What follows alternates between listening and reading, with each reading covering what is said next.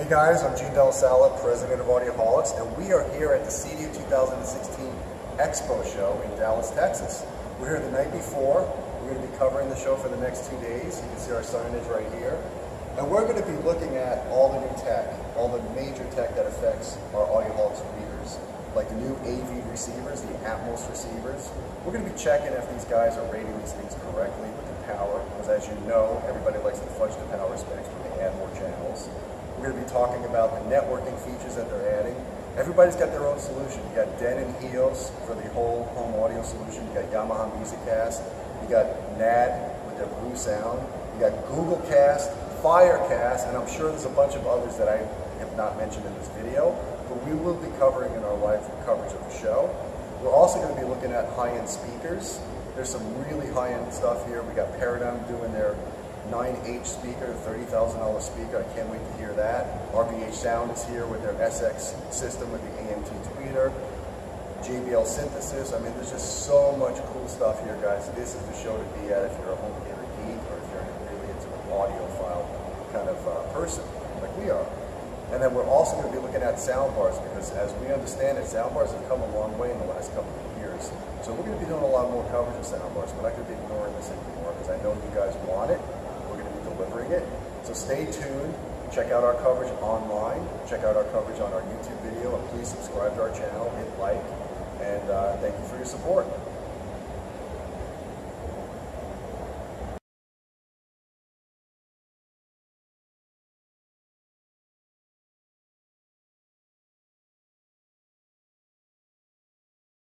The Artison booth, we're here with Matthew Labruzzo, uh, Director of Engineering and we're going to be talking about their new Backpack P5 system. He's going to give us a rundown of what it is and why it's so cool. Here you go, Matthew.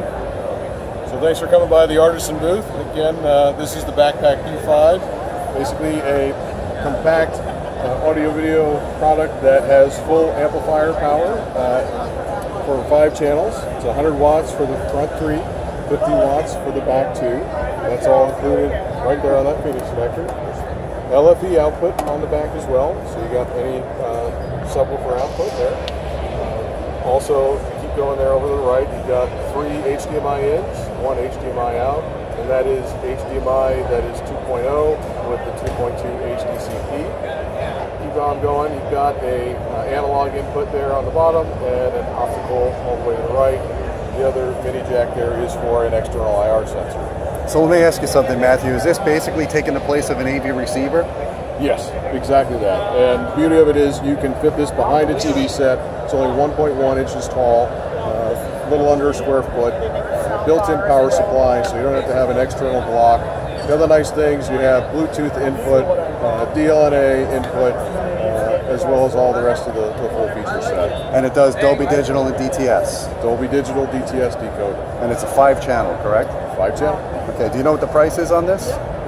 Suggested retail is $1,200. Okay, well we're going to go take a listen because they have one set up and we'll let you, know, guys know how it sounds. Thank you, Matthew. Thank you.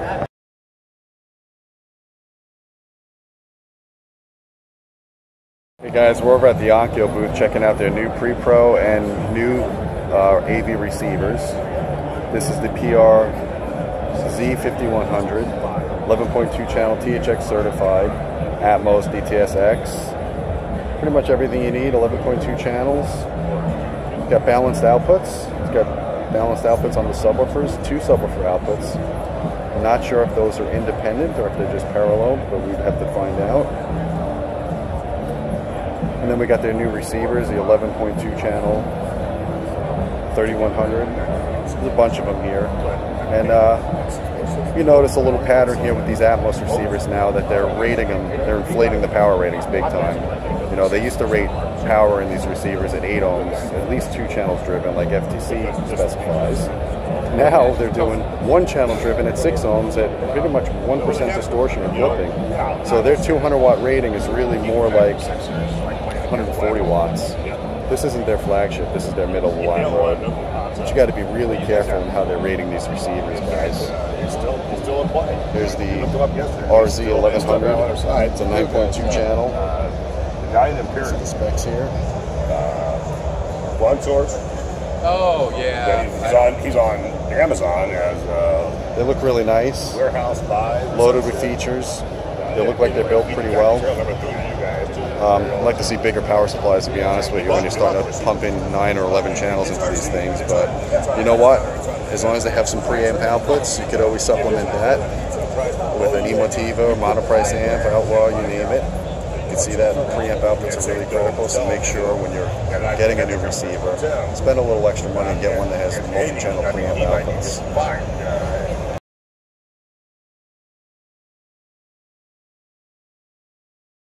Hey guys, we are here with Jason Liao of Oppo. And Jason brought a little surprise for us that we didn't know was going to happen here at CEDIA. So, Jason, why don't you tell us what you got here on the table? Uh, sure. Uh, what we got here is uh, our Ultra HD UHD uh, player. Uh, it's a Ultra HD Blu-ray player. We call it uh, UDP 203, and uh, it's an engineering sample. Uh, we are still actively working on it. I know that many of you are looking forward to a player from Oppo, so uh, we don't want to disappoint you. And uh, as soon as we get a prototype, I would like to share the information with you and make sure that we get it right. And so there's no specific release date. Just want to let you know we are hard at work working on it. So, let me ask you, Jason, if we're going to compare this to a BDP 103, other than its HD capabilities, are there any new features that it brings to the table? Well, the main feature is the HD capability. Uh, we are also working on the uh, audio side, trying to get more format support, such as uh, higher sample rate, uh, PCM audio, and higher sample rate DSD. Uh, that's uh, pretty much it. Of course, there's the stuff you would expect from a UHD player like the 4K resolution, HDR, the HDR10 flavor, and other flavors we are working on, and uh, USB 3.0 for uh, the higher throughput that you will need for 4K video. Yeah, that's uh, pretty much it. Uh, one difference from this player and the previous player is uh, now we got Wi-Fi built in, uh, so you no longer use a dongle. We found a way to utilize the MIMO technology to get really good Wi-Fi coverage, even with uh, metal chassis. Okay, now you're also going to have a BD, uh, a UDP 205, I'd imagine, right? An audiophile player, kind of like the BDP 105. Uh, yes, we all usually have uh, a two-tier product structure. So once this player is uh, fully developed, uh, then we'll be working on an file upgrade version, looking into better analog audio, better DAC, this kind of technologies. Now, let me ask you, what are the prices going to be on this UDP 203? Is it going to be more expensive than the 103 that's currently shipping now, or is it going to be around the same? Well, we are hoping to keep the same price. Uh, as uh, of now, there's uh, a lot of uh, cost accounting not done yet, so we really don't know exactly what the retail price uh, will land, uh, where it is. But uh, we're trying all the way possible to not increase the price. Okay, and what about your up conversion? Is it the same kind of chipsets that you had in the BDPs 103 and 105 for going from, you know, DVD to 1080p and 4K, or what's different in the chipsets on that? Uh, up converting is always important. We know that uh, customers have a huge library of materials. They want to show the best quality in their uh, 4K TV. So um, we are not uh, using a external up converter chip this time. Instead, uh, we put all this experience and expertise of our up converting technology into firmware development, and we actually uh, co-developed the main decoder chip together with our semiconductor supplier, so that all this good up converting uh, performance will be carried over into this player, but in a single uh, system uh, chip kind of solution. That sounds really exciting, Jason. It sounds like there's a lot of good stuff going on with these players. Can you kind of give us an, an estimated date as when we're going to start seeing this hit the market?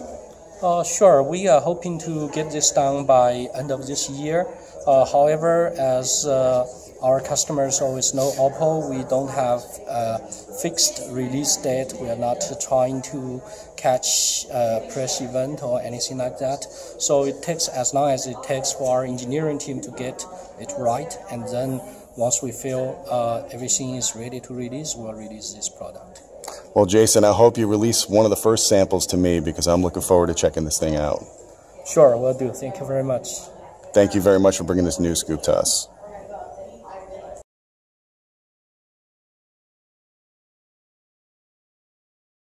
Guys, we're over at the Denon booth here looking at their new AVR 6300H receiver. We covered this already in a preview, but I wanted to show it to you here.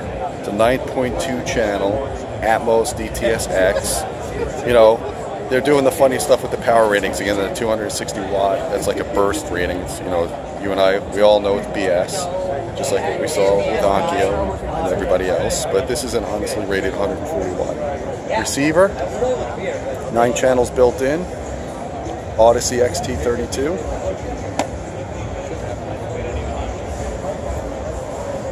It's got Denon HEOS built into it as well. See the plethora of connections on the back. Solid receiver, solid offering here. Check it out.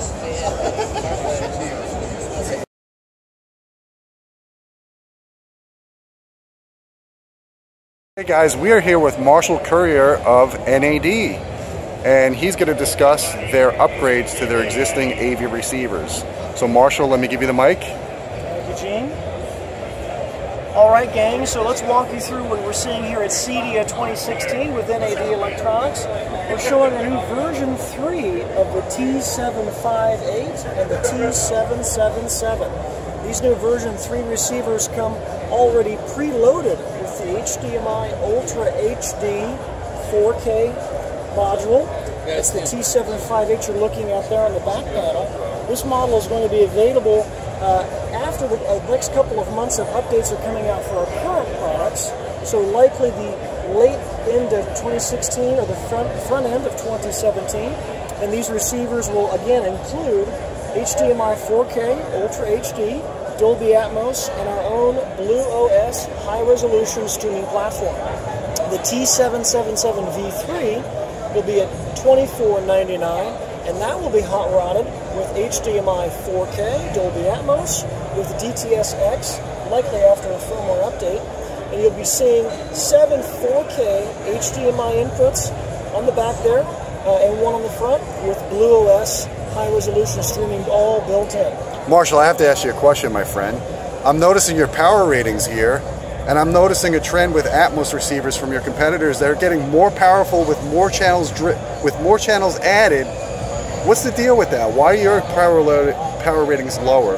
Tell me what's going on. Now, one of the things NAD's done for many years, Gene, is what we call full disclosure power. Full disclosure power is an FTC rated 20K to 20 hertz, all channels driven continuously into the appropriate speaker load. So we're not fudging numbers. And be very careful, everybody, when you see a company that's adding channels of amplification to their home theater receivers for things like Atmos and DTSX, but the weight of that home theater receiver isn't get, getting it, it's not getting any heavier, be very careful about that company's power specification. If they're adding more channels, but it's not getting any heavier, if there's some monkey business there. Well, we saw this trend recently that these some of these competitors are rating one channel driven at six ohms at one percent distortion, and it's just complete bonkers. So you really got to look at apples to apples when you're comparing power specs. I couldn't agree more, Gene. I love my competitors. This is a great industry, and I won't say anything bad about them, but do be cautious, ladies and gentlemen. Can we take a look at the module? Yeah, so let's talk about the upgrade process for the current customer base. You're looking here at the VM300. Again, this is the NAD VM300 module that will be included in these new version 3 receivers. Now, if you don't have or don't intend to purchase a version 3 receiver or you um, have a, current NAD product, you can upgrade to this VM300 HDMI module. If you purchased your NAD uh, receiver and qualified for our upgrade program, the, the VM300 uh, module will be available from your dealer at no cost after a certain date. If you purchased a 758, a T758 home theater receiver, this HDMI module at retail is $199. So we have a couple different upgrade paths depending on when you purchased your existing NAD equipment, or if you're in the market for a new home theater receiver, check us out at nadelectronics.com. If you've got any questions about how to upgrade your home theater receiver, maybe you don't want to do it yourself, maybe you do, maybe you just have some general questions, we've got a, a chat client and support email there at nadelectronics.com in the top right corner. Awesome, Marshall. Appreciate all your support here today. It's great learning about these products, and it's great to know you guys have upgrade paths for your existing customers. Awesome, Gene. Thanks for coming, and thanks everyone for watching.